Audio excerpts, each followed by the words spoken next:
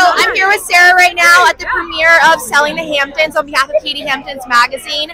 Can you give us a little bit of insight? I know you had a tech background. What drew you to luxury real estate? Well, so I actually, my first role in real estate was working for Joe Farrell and Farrell Building Company in the Hamptons. Oh, wow. So I was there for a few years and then ended up working uh, at Douglas Elliman with the Alexander team. And then the next thing you know, I'm selling in the Hamptons, 250 million within three years. So Amazing. it's been it's been an incredible journey. Yeah. So, from yeah. someone who frequents in the Hamptons, Yeah. what is your perfect day in the Hamptons? Where do you like to go? Where do you eat? Oh, so perfect day. I would say wake up. I'll do SLT uh, in Amagansett, right? Or it's on the border of East Hampton, Amagansett. Then you go to Carissa's in Sag Harbor.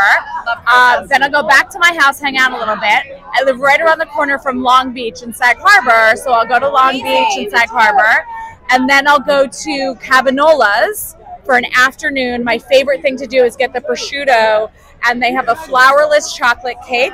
And then they have the wine store next door. So you do all of those things. You go home, you relax, you have a great night, and you just see the stars. And that's the most beautiful thing about the Hamptons. the best of both worlds. And last question, I'll let you go, but your dress is beautiful. What are you wearing? Alaïa, all Alaïa. Stunning. Yep. Stunning. Well, Thank thank, you. you. for chatting with Thank us. you. We're looking forward Thank to seeing you. the season. Thank Here on the red carpet on behalf of KDHampton's magazine with Mia. Can you give us a little insight on how your hair always looks beautiful? Tell us, you're always on camera for the TV show. Do you have someone do this for you? Is there a full team for this or is it you?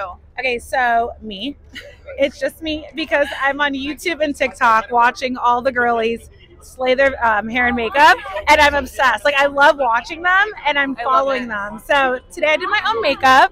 looks beautiful. So tell me, it looks crazy. It looks great. It looks great. okay, good, good, good. Is there anyone in specific on social media that you watch for your hair tutorials?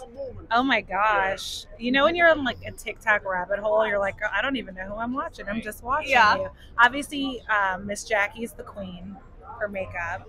Um, but yeah, I, I love them all. Anybody black, anybody black that's doing hair and makeup, I'm watching. Well, you. you, you look stunning. You look stunning. And I know you're cold, so we'll let you go inside. But briefly, is there any little sneak peek you can give us to any of the drama or deals that happened on the show that we haven't seen yet? Yeah, absolutely. So this year, biggest stop looking at me. So this year, the show is bigger and better than ever. We have huge deals happening on the show. The homes are beautiful. The drama is correct, but it's really fun, and we're super excited for you guys to see this season. Perfect. Well, thanks for chatting with us. I'll let you get inside.